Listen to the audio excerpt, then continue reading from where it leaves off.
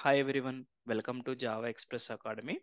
Today I'm going to discuss what are the new features available in Java 17. Okay, guys, a lot of people giving in Java 17 uh, records are introduced, text blocks are introduced, utility methods are introduced.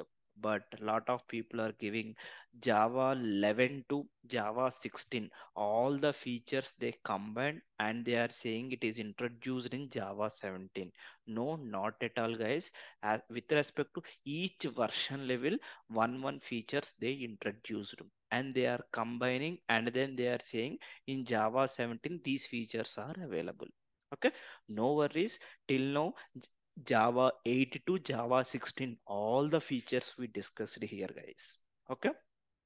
All the features already available in our youtube channel java express if you go ahead and leave the comment in this session we'll share you complete list of videos to you. Okay?